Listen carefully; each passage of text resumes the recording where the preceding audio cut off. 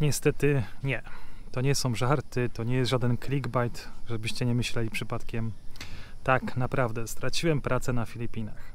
Tą pracę, o której słyszeliście już w kilku filmikach, jaka to ona nie jest wspaniała, jak dobrze płatna.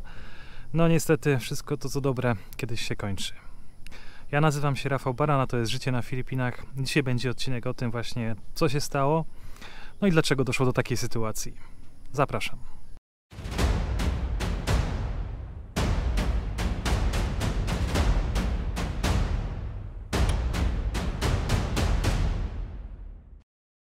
Ale słuchajcie, w pierwszej kolejności chciałbym wy Wam wyjaśnić. E, to nie jest film nagrywany tak, że się żalę, że coś po prostu się nie udało w tej pracy, no i po prostu firma zerwała ze mną i też zresztą z innymi, o czym się później dowiecie, kontrakt. To jest bardziej na tej zasadzie, że ten kanał jest o życiu na Filipinach, więc o tych pozytywnych aspektach i o tych negatywnych, jak zawsze staram się Wam powiedzieć wszystko. Dlatego tym razem no, powiem Wam o tych akurat negatywnych, bo pozytywnym tego nie można nazwać, aspekcie, czyli po prostu, że firma zerwała z nami, Polakami, z całą grupą e, kontrakty. Dowiedzieliśmy się zaraz o tym po świętach. Tak naprawdę bardzo można powiedzieć, nietypowo, ponieważ no, z dnia na dzień po prostu dowiedzieliśmy się, że praktycznie straciliśmy wszyscy pracę i że mamy pracować jeszcze tylko i wyłącznie przez tydzień, no a później po prostu już e, nie będzie tak naprawdę do czego wracać, no bo firma nie przedłużyła kontraktu. Więc też Wam chcę o tym powiedzieć, bo to są uważam ważne aspekty tego, jeżeli próbujecie się przeprowadzić na Filipiny i próbujecie zacząć pracować tutaj. Także zaczynamy. A więc zaczynając, słuchajcie, od początku. Jak pewnie wiecie, pracowałem w firmie informatycznej na Filipinach. E, polegało to na zasadzie mm, business to business, czyli firma z Polski wynajmowała firmę, która obsługiwała ich całą, można powiedzieć, infrastrukturę sklepową, przez co no, oni mieli osoby ze sklepu mogły dzwonić na infolinię i w każdym momencie mogły dostać pomoc. No, jeżeli coś nie działało, to oczywiście my to eskalowaliśmy do jakiejś tam innej grupy, albo to sami rozwiązywaliśmy problem, jeżeli była taka możliwość.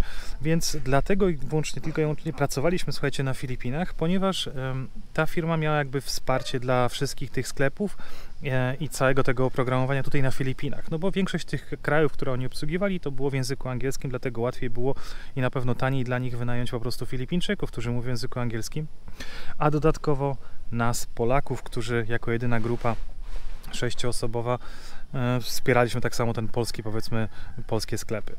No i słuchajcie, tak też się stało, że zaraz po świętach dowiedzieliśmy się o tym, że no niestety nie zostaną nam kontrakty przedłużone. W zasadzie nawet nie to, że przedłużone, tylko zostaną zerwane. No bo firma, która mm, obsługuje te sklepy, nie przedłużyła umowę, albo w zasadzie firma, która zleciła ten support, nie przedłużyła umowy z firmą, która będzie wspierała. Dlatego my stanęliśmy przed takim, powiedzmy, no jedno jednokierunkowym wyjściem. Firma musi nas po prostu zwolnić, bo to są jedyne sklepy, które obsługujemy. Jesteśmy jedynym polskim teamem w tej firmie tutaj na Filipinach, więc po prostu nie mają sensu, żeby nas trzymać. Jedyną opcją, żeby zostać w firmie, co też teoretycznie tylko te osoby, które mają żonę Filipinkę i wizę tą małżeńską mogłyby zrobić, to jest przejść na angielski support, czyli już całkowicie można powiedzieć, wyprzeć się języka polskiego, nie saportować w ogóle Polaków, no bo w tym języku już nie będziemy pracować i zająć się tylko i wyłącznie obsługą w języku angielskim. I taka możliwość teoretycznie jest, natomiast to już oczywiście jest za dużo mniejsze pieniądze, no bo już nie ma tego bonusu, o którym Wam mówiłem, za język polski, więc ja z tego całkowicie zrezygnowałem. No i teraz słuchajcie, kolejna sprawa, bo to też jest bardzo ważna, czyli sprawa wizowa. Polacy, którzy pracowali tutaj na Filipinach, byli zatrudnieni na dwa różnego rodzaju sposoby. Pierwsza to była wiza małżeńska. Jeżeli ktoś już ma żonę Filipinkę i ma taką wizę małżeńską, to łatwiej mu się jest ubiegać o pozwolenie na pracę. W zasadzie może od razu się ubiegać o to, więc firma nie musi załatwiać wizy pracowniczej. I on też nie ma z tym żadnego problemu, po prostu kończy mu się kontrakt, więc on po prostu nie przedłuża tej jakby tego pozwolenia na pracę, nie musi tego opłacać za kolejny rok, no i ma to wszystko po prostu jakby dalej wszystko normalnie istnieje. Natomiast druga grupa pracowników to są ci, którzy z jakiegoś powodu nie mogą mieć takiej wizy małżeńskiej, czyli na przykład nie mają żony, albo na przykład tak jak ja. Ja też mam żonę na Filipinach, ale nie miałem takiej wizy małżeńskiej, bo nigdy się po prostu o nią nie starałem, nie była mi potrzebna. To jest długa historia, dlaczego jeszcze tej wizy nie mam. No więc ja też dostałem taką wizę po prostu o pracę, wizę po prostu takiego jakby temporary, mm, temporary, e, working visa, czy coś, coś w tym rodzaju. No i teraz tak, jeżeli e, my mamy tą kilka osób z grupy ma taką wizę, no to muszą, musi firma zrobić downgrade tej wizy, czyli z wizy pracowniczej na normalną wizę Albo ewentualnie, co to jest jeszcze gorsze, i też nie wiemy, czy to tak na pewno jeszcze jest, bo też są zdania na ten temat podzielone, że jeżeli firma zrobi downgrade tej wizy, to my najprawdopodobniej będziemy musieli opuścić Filipiny, przynajmniej na 24 godziny, no i wtedy wrócić ponownie już jakby na wizie turystycznej. Nie wiem, czy tak będzie do końca, natomiast to może się okazać, że to jest dużo, dużo większy problem, bo nie wiem, czy mi będzie pasowało to w ogóle terminowo, żeby opuścić te Filipiny w tym czasie. No ale dlaczego Wam o tym wszystkim mówię? Słuchajcie, bo od tego czasu, jak zacząłem pracować w tej firmie, czyli no jakieś prawie półtorej roku temu, to dostawałem naprawdę bardzo dużo od Was informacji. Co ciekawe, nawet dostałem chyba z 3 czy 4 informacje w ciągu ostatniego tygodnia, jak już nawet wiedziałem, że mm, nie będę pracował dalej, no ale Polacy dalej się pytają o to. Bardzo dużo Polaków mm, przyjeżdża na Filipiny i bez tego właśnie pomysłu Mm, co będę ze sobą dalej robił, gdzie będę pracował i jakie są możliwości w ogóle tej pracy na Filipinach. Dlatego jakimś tam cudem oglądali filmik i pytali się, czy jest możliwość pracy, czy firma chce zatrudniać nowe osoby, no bo Filipiny im się tak podobają, że chcą tutaj po prostu zostać na stałe, no trzeba mieć po prostu jakiś przychód. No i tak jak widzicie, mówię o tym, no bo sytuacja jest taka, a nie inna. No, firma nas zwolniła, no bo nie ma takiej nie ma pracy już dla nas. Można powiedzieć, że firma w ogóle teraz już nie wspiera języka polskiego, przynajmniej ten oddział, który tutaj jest. Jedyna opcja, jaka w tym momencie zostaje, no to szukać innej pracy i tej pracy dla Polaków no praktycznie nie ma. Oczywiście tutaj też powiecie, że na Filipinach jest bardzo dużo call center, no bo Filipińczycy i Filipiny w ogóle praktycznie żyją z tego. Manila, Cebu są wypchane po prostu firmami call center wsparciem finansowym, technicznym i każdym chyba innym, jakie tylko jest w ogóle możliwe. Ale w większości to jest praca w języku angielskim, bo dlatego oni to tutaj robią na Filipinach, no bo język angielski jest drugim językiem urzędowym i Filipińczycy bardzo dobrze rozmawiają w języku angielskim, przynajmniej ci z większych miast. A po drugie, praca jest tylko i wyłącznie w biurze, więc ja y, na pewno bym się nie zgodził na taką pracę w biurze, na pewno bym się nie przeprowadził do Manili czy do Cebu, bo nie chciałbym tego robić. Y, I zarobki w języku angielskim też na pewno będą mniejsze niż te w języku polskim, tak jak my dostawaliśmy premię. Ale żeby nie było, że nie podaję Wam konkretnych przykładów. E, to teraz będzie konkretny przykład. Firma, która na przykład robi tak samo taki support jak my, Zatrudnia Filipińczyków z bardzo dobrym angielskim i płaci im miesięcznie około 26-27 tysięcy peso na rękę. No to w tym powiecie widzicie ile to jest. Powiecie, no to nie jest tak źle, to nie jest tak znowu słabo. Mm, czy ja wiem, czy w Polsce byście pracowali za te pieniądze? Pamiętajcie, że Filipiny naprawdę to już nie jest bardzo tani kraj. Szczególnie jeżeli chcecie mieszkać na przykład w Manili czy też w Cebu i chodzić do biura za tego typu pieniądze, to 20 tysięcy, moim zdaniem, minimalnie wydacie w ogóle na samo mieszkanie miesięcznie. Plus rachunki, to praktycznie wyjdzie na to, że wydajecie wypłatę na to, żeby mieszkać w fajnym mieszkaniu, powiedzmy fajnym mieszkaniu, a nie w jakichś tam powiedzmy slumsach albo w gorszej dzielnicy. Więc to też tutaj chodzi o to, żebyście żyli na jakimś tam powiedzmy standardzie. I tutaj nie, nie mówię tak, że po prostu nie chcę was zniechęcić do tego, tylko chcę, żebyście pomyśleli jako realiści, że pomimo takich pieniędzy yy, i tak będzie ciężko się utrzymać na jakimś tam standardzie. No dobra, no ale teraz pewnie zapytacie to, co robię dalej. Czy wracam do Polski, czy przeprowadzam się z Krystyni za milion do Polski, żeby znaleźć jakąś normalną pracę i zacząć pracować? Nie.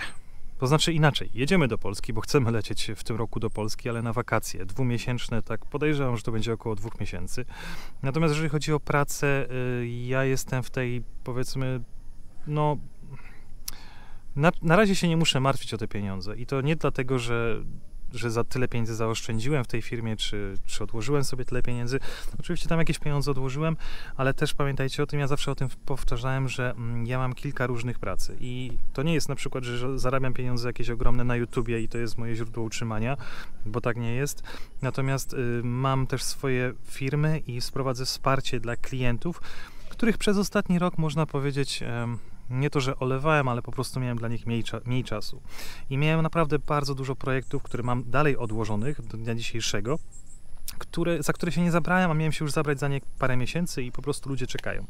Więc y, teraz się na pewno skupię na tym. Nawet nie mam ochoty szukać teraz w tym momencie innej pracy na etat przez najbliższe y, parę, parę miesięcy bo chcę się tym zająć, chcę to wszystko sobie poustalać, naprawić, zobaczyć dopiero wtedy, ile będę miał miesięcznie przychodu.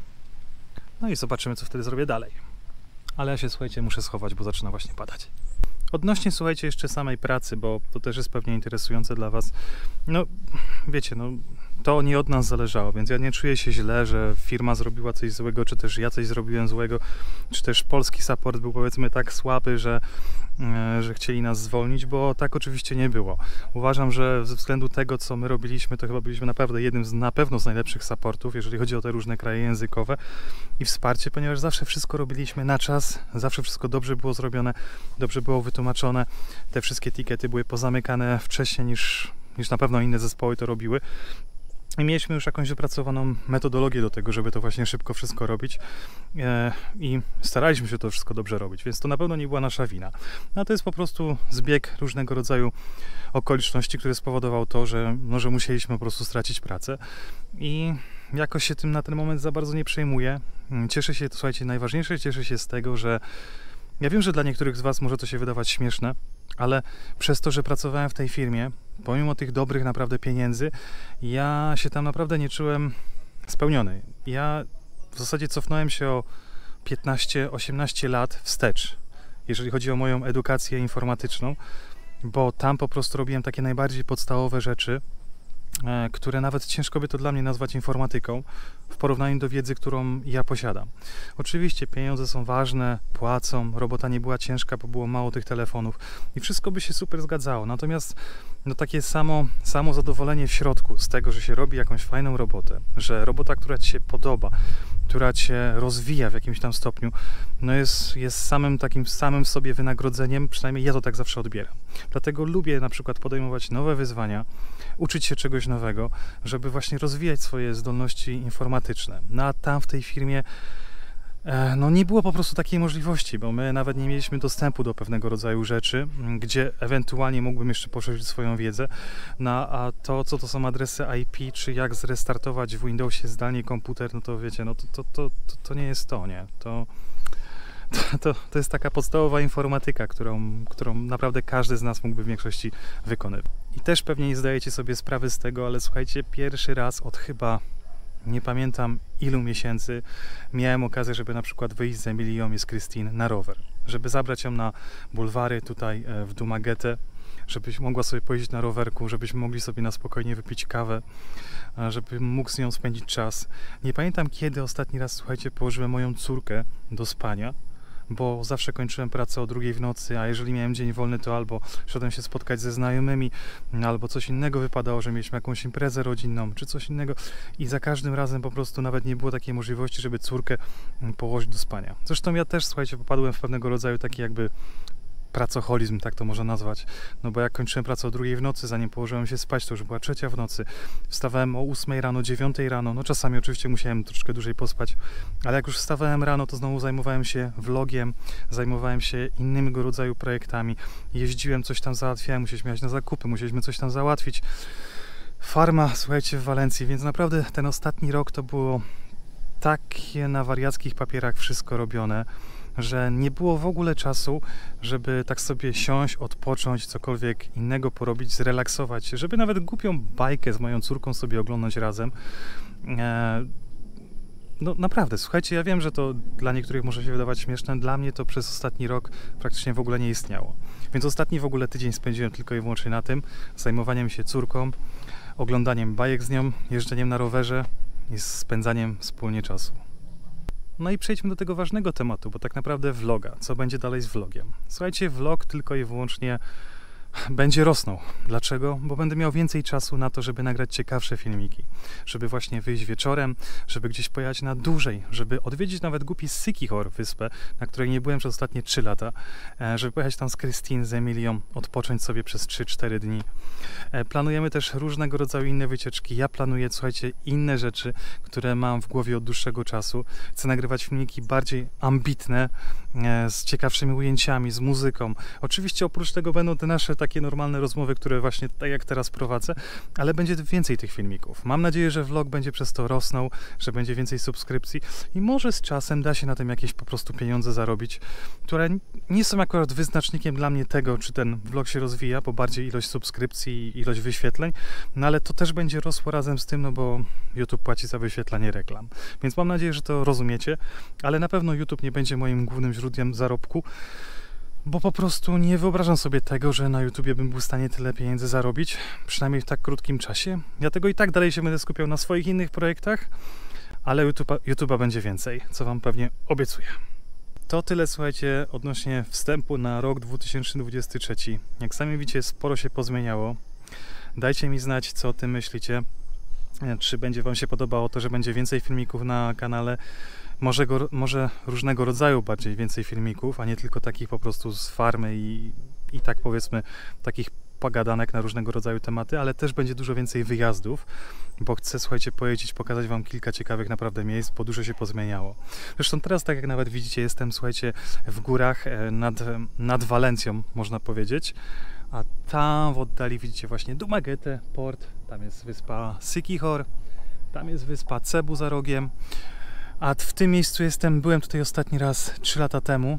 E, to miejsce się naprawdę bardzo zmieniło, bo już jest tutaj po pierwsze droga dojazdowa i można dojechać tutaj samochodem bez żadnego problemu. E, po drugie, wszystko tutaj tak obrosło, no bo tutaj jest oczywiście troszeczkę zimniej i też więcej deszczu. Ale do tego miejsca tutaj, gdzie jestem, przyjadę, słuchajcie, jeszcze raz na pewno, żeby Wam pokazać, bo, bo fajnie się tutaj jedzie i to miejsce jest warte pokazania. A na ten moment bardzo Wam dziękuję za oglądanie. Jeżeli słuchajcie, interesuje Was życie na Filipinach, zapraszam Was do kliknięcia przycisku subskrybuj. Dowiecie się więcej o tym, jak tutaj życie wygląda. Dziękuję bardzo za wsparcie na Patronajcie, za wirtualną kawę od Was, no i za Wasze oczywiście komentarze, na które czekam za każdym razem.